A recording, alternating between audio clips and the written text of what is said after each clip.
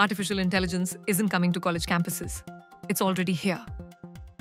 According to a new national survey, 85% of college students in the US say they've used generative AI tools for their coursework in the past academic year. That number may sound shocking, but what students are doing with AI might surprise you even more. Contrary to the fears of mass cheating or AI written term papers, most students say they're using AI to support their learning, not to replace it. In fact, the most common uses are brainstorming ideas, asking AI questions like a tutor, and studying for quizzes or exams. Only a quarter of students reported using AI to complete full assignments, and just 19% said they had used it to generate entire essays. In other words, the typical student isn't outsourcing their education to AI, they're using it as a study partner. But the conversation doesn't stop there. The way students want colleges to respond to the shift is just as telling.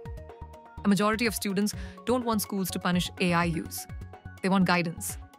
More than half say colleges should teach ethical AI use, provide training, and establish clear policies. Far fewer support strict bans or surveillance tools like AI detection software. This sends a clear message. Students aren't trying to hide their AI use. They want to understand how to use it responsibly. The data also reveals something deeper. Isn't making students question the value of a college education.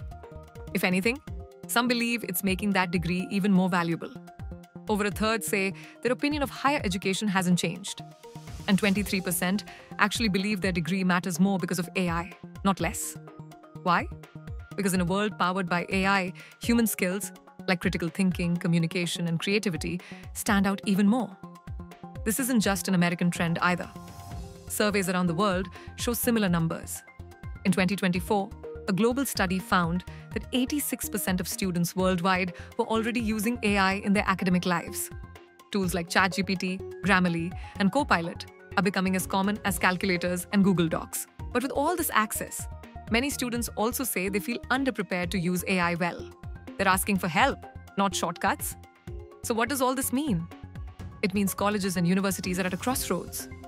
They can either treat AI as a threat to be policed or as a new literacy, one that should be taught, explored, and used with intention. Because AI isn't replacing learning, but it is changing how learning happens. And the sooner we acknowledge that, the better prepared we'll be, not just for exams, but for the world ahead.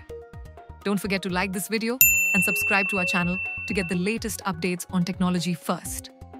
Thank you for watching, and I'll see you in the next video.